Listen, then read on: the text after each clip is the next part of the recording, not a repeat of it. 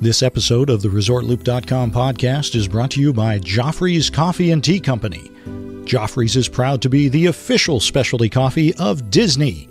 Enjoy drinks and pastries at Joffrey's kiosks throughout the parks and check out the Disney Specialty Coffee Collection only at Joffreys.com. Please stand clear of the doors. Por favor, manténganse alejado de las puertas. Once again, if you're traveling to Epcot, please remain on board. You'll need to change monorails at the Transportation and Ticket Center.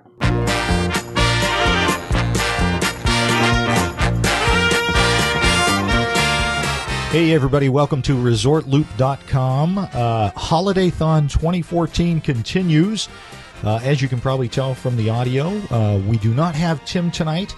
He is preparing for uh, ResortLoop.com's uh, New Year's extravaganza. He is actually up uh, uh, here at the studios um, attaching the Tiffany crystals to the ResortLoop.com ball that will fall at midnight uh, New Year's Eve. So uh, we're hoping he doesn't fall off of the roof.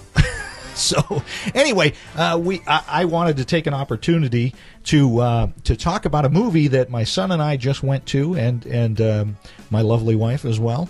Um, but uh, we we went and saw Big Hero Six, and I just I had to talk about Big Hero Six because I loved this movie. So I'd like to introduce uh, my son Bobby, who is 14 years old. He'll give you a, a young man's perspective of the movie, and um, there probably will be some uh, some uh, uh spoilers here for you. So just uh, you know, bear with us. Uh, real quick, I want to let you know this is this is the official Disney. take on Big Hero 6, okay? So, when a devastating event befalls the city of San Francisco, that's where you're at. It's kind of a combination of San Francisco and Tokyo, obviously. Uh, and catapults Hiro, that's our that's actually our hero, into the midst of danger. He turns to Baymax, which is the inflatable balloon kind of looking guy. Everybody's seen what that looks like. Turns to Baymax and his close friends, adrenaline junkie Gogo Tamajo, uh, Tamago, uh, Neatnik Wasabi, uh, chemistry whiz Honey Lemon, and fanboy Fred. Um, for help, uh, determined to undercover the mystery, Hiro transforms his friends into a band of high tech heroes called Big Hero 6. This movie is inspired by uh, Mar- the Marvel Comics uh, Big Hero 6. So if any of you guys that uh, are big into comics know uh, Big Hero 6, that's where it's coming from. So uh, those of you that don't know, it is a Marvel movie. So we're going to talk about that in a few minutes. But uh, Bobby, what were your impressions of Big Hero Six? What did you think of Big Hero Six? Um, I thought that it was very good. You know, I think that they really they did a great job, you know, developing the characters and making them seem realistic and relatable to real life events. You know, like Hiro right. loses his brother, and we've all had someone that we've lost right in right. our lives, and we've all had that same kind of confusion and right, anger. You know that he has. That's why he turned Baymax into a superhero. Right now, Hiro Hiro's not a hero at first. He's a troubled kid. He's 14 years old, just like you. Yeah. So he's a, he's kind of a troubled kid, and um, he he he's getting you know he's doing things he shouldn't be doing, and his brother is really uh, kind of his mentor, kind of because they lost their parents, they're living with their aunt, kind of you know your typical Disney movie. There are no parents, you know. Uh, tragedy befalls the the hero of the movie, um, and uh, the protagonist, if you will. You you're ta- learning about that in school, yeah. so. Uh, but uh, so uh, tragedy befalls him after he him and his brother his brother introduces him to these other characters, the other four that uh, that are part of the Big Hero Six. Uh, so there's the four friends. There's Hiro, and of course Baymax that that make up Big Hero Six, the the group, uh, the superheroes, if you will. But uh, it it's I I thought it was very similar as far as animation wise to um, uh, Meet the Robinsons. Mhm. Yeah. You agree with that? Yeah, I, I haven't noticed that until, you know, you just mentioned it, but yeah, uh, Meet the Robinsons, most people don't really know about Meet the Robinsons. Yeah, it's one of those really underappreciated Disney movies. Absolutely, I agree with you. Yeah, I think they tried to probably model their animation with Big Hero 6, given that it looks futuristic, uh, to Meet the Robinsons. Right, right. So, uh, Hiro is a is a a in essence a boy genius who graduated high school before the age of uh, fourteen. Didn't want to go to college because he didn't want to go to quote unquote nerd school because he was a genius. But his his brother introduces him to the school that he's going to because his brother's a genius as well. And uh, why don't you tell him who who actually invents Baymax, the the balloon type character of the. Uh, Um, well, Hiro's brother invents him uh, Baymax, which Baymax is uh, he his brother's image for Baymax was to be a healthcare provider, uh, Right. just an everyday you know appliance. But Hiro, after his brother dies, sees him as kind of more like he has more potential than Right. just being you know a doctor. right, because So- Baymax is actually a he's a robot Yeah. wi- within that whole inflatable suit, in essence. Uh, and can uh, ab- obviously robots can be reprogrammed, and that kind of goes bad toward the the middle end Yeah. of the show um, because Hiro gets angry and uh, reprograms Baymax to not listen to his original programming, which was of uh, of, of the medical field. His So- huggable design. right, right. So, um, so uh, it, Hiro decides he's going to get into this school because he, he falls in love with the school. He really likes the other four characters that are in the school, friends of his brothers. And uh, a tragedy befalls. We won't give that away, but a tragedy happens.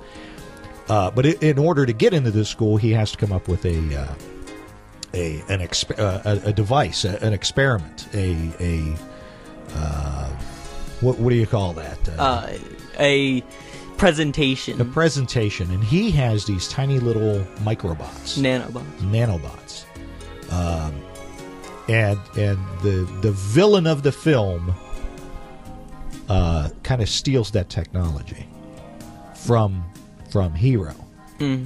So that's kind of how it all. I mean, his brother is uh, dies in a in in, in a tragedy. Uh, he becomes angry because the person who or how that tragedy happened was not an accident, and he discovers this and decides he's going to do something about it. And uh, he reprograms Baymax to be a superhero. Mm-hmm. Um, I think that Baymax, like, it's really hard to relate to mechanical, you know, uh, characters Right, in movies, but they develop Baymax's personality, his dry sense of humor, like his his like human like you know Right. um, way of acting. They really um, emphasize that and allowed the uh, watcher to feel connected to Baymax. Right, right. Like, uh, let me see. kind of kind of like if you if you think about it kind of like any of those you folks that have seen the second terminator movie um, where where the young boy uh, gives the arnold schwarzenegger character or arnold schwarzenegger character robot a little bit of personality yeah, gives him some cool things to do like when they do the fist fist bump that's one of my favorite parts when he teaches him the baymax how to fist bump yeah. that is so cool, so cool. Um, so um I think I think again, not giving away anything, but I think that this movie, I really do, and you you can tell me because you're 14 years old. This is a boy's Frozen. yes, yes, it is. Yeah. I think every young man needs to go see this movie. It is that good. Um, and honestly, uh, Hiro is what every you know boy below the age of fourteen wants to be. Right. You know, Right. and uh, everybody wants a Baymax. You Yeah, know, Baymax would everybody wants cool that you know companion that will go with you until the very end of the line. You know, Right. kind of like Right. uh in the Captain America films, Bucky. You know, Right. Right. There you go. There you so go. like again they really did a good job developing the characters and making them seem real and making you have like like a emotional connection to them right. you know Right. And uh, and because of that that emotional connection, that's what brings Hiro back from this this uh, desire for revenge for the person who who caused his brother's demise. Um, it's it's actually Baymax that brings him back, um, the robot, because it's uh, you know he he has such a great personality. What about when Baymax was starting to lose his power? When when his, Oh. his power got low, um that that scene uh disney did a very good job because there is a million ways you can go Right. with a robot Right. losing power but they decided to go with the well, we won't tell. loopy- Well, we, well, like- we're not gonna we're not gonna give that away. We're not gonna give that away because that is Uh. one of the that is one of the best parts of the movie. And again, that kind of humor it allows you to get the connection to Baymax, like the prolonged scenes, like uh, when Hiro activates him in his house and he acts like uh, Right. makes the bookshelf fall, Right. like just right. slowly, and like those prolonged scenes of just like Baymax trying to do something but Right. not able to, and like when he kicks the uh, office chair and tries to Right, pick it up. right. It's Yeah. like those like li- it's the little things that make you have the connection that you want, you know, with Absolutely. a mechanical character. Just the blinking, the blinking. Yeah. And you you loved when he waves, how he waves. yeah, he waves like in a circular way, like really close to his body, like in a little s- Yeah. like circle. and it's the exact same way every time because Yeah. he's a he's a robot, obviously. But uh, um, now we are gonna we're not gonna give anything away, but there's a little surprise in there. Keep in mind when when we first started this show. Keep in mind this is a Marvel movie. Okay, it's a Marvel movie, so I just want you all to think, any, any of you Marvel fans out there that love the Avengers and the Iron Man, there is a person that shows up in every Marvel movie. and and this time it's at the very end of the credit. Yeah, you got to stay through the entire end credits of of the movie in order to see this person. But you got you got to watch the whole movie all the way to the end. And then how about how about when Fred Fred's one of the characters who he wants to be a, a fire breathing dragon, and and uh, Hiro is able to. Uh, Provide him a suit that allows him to be a fire breathing dragon to fight the bad guy. Um, but uh, he ends up there's there's a little twist, and uh, who his father is is pretty cool as well. Um, yeah, and that person in real life, uh, he said that he has always been a huge Disney fan, and to be in a Disney movie was like his lifelong dream. Right, right, yeah, You know, in yeah, a Disney animated feature. right. That's that's got to be a big deal. Um, and while we're on the subject of the character Fred, they made all of the human characters, all of the other four friends, very realistic with the culture and the Right, way um, kids act today. You know, they Good, didn't make it good. some like stereotypical, you know, like sometimes those kind of movies do.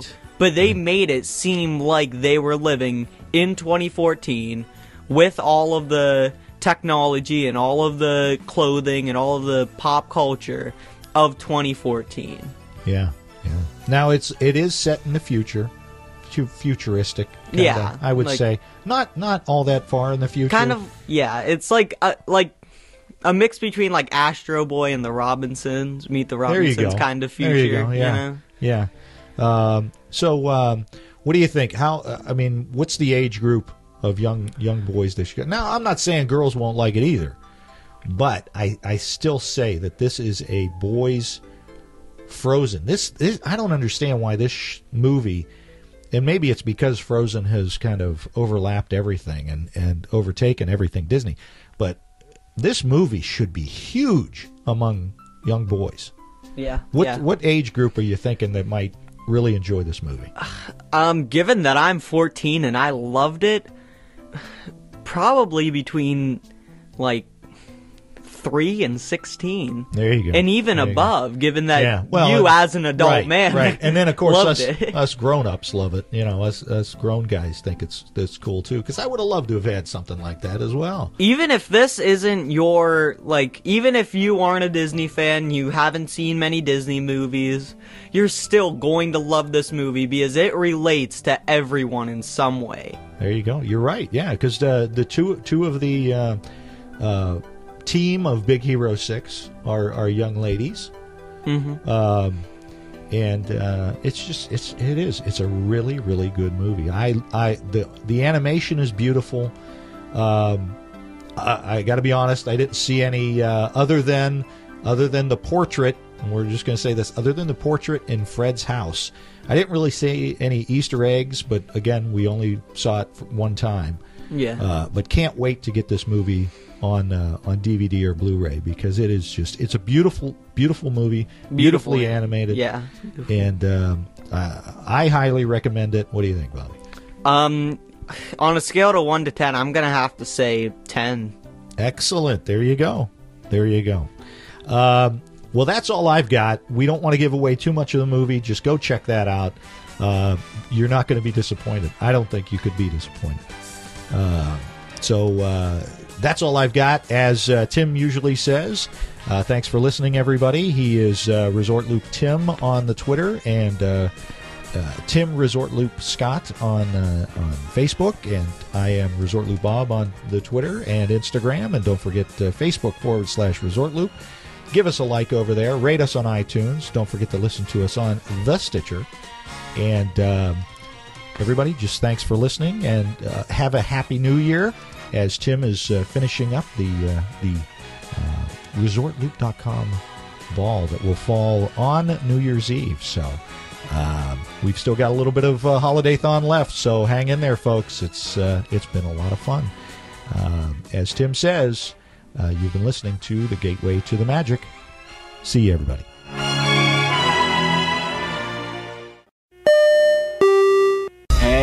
Baby. Harry baby.